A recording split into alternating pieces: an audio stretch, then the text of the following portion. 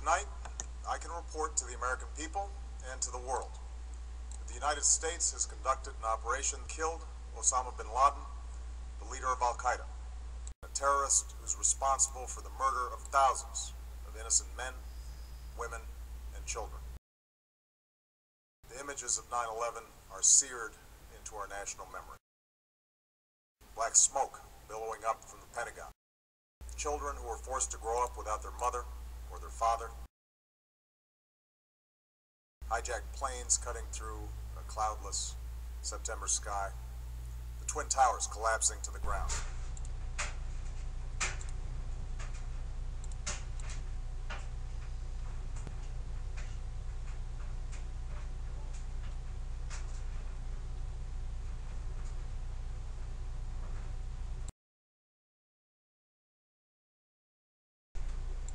Well, Mr. President, there's actually happy people in Ardmore, Oklahoma, because that's where a lot of these tanks come from. That's good.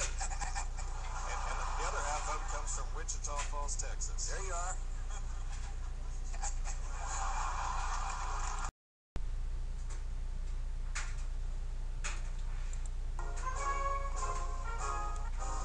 Happy people, happy people. That's good. That's good. That's good. That's good.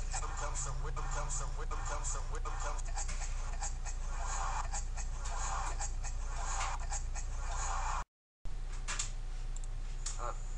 Stretch, big stretch.